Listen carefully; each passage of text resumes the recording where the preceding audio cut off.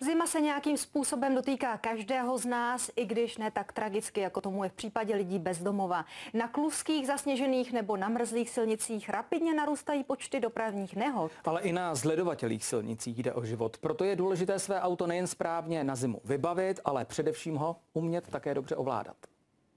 Tento řidič je ukázkovým příkladem podcenění rychlosti a povrchu silnice. To jsou ostatně hlavní důvody zimních nehod. Další věc je samozřejmě, když se to auto dostane do klizové situace, dostane se do toho smyku, tak jestli řidič dokáže správně podvědomě zareagovat a následně tu situaci řešit. A z toho důvodu vznikají cvičení jako to dnešní, kurz bezpečné jízdy. A řidičů se tu dnes sešlo požehnaně. Rád jezdím svižně, chci být bezpečný pro sebe i pro ty ostatní, chci prostě ty situace umět zvládnout.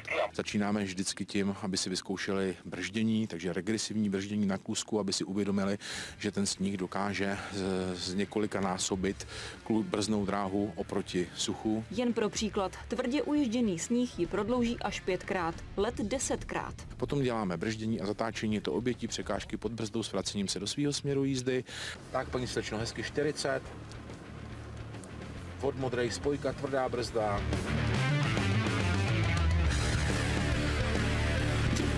Zkrátka jeďte rovně proti kuželům, dupněte na brzdu a vyhněte se jim. Zní to snadně, ale tak snadné to není.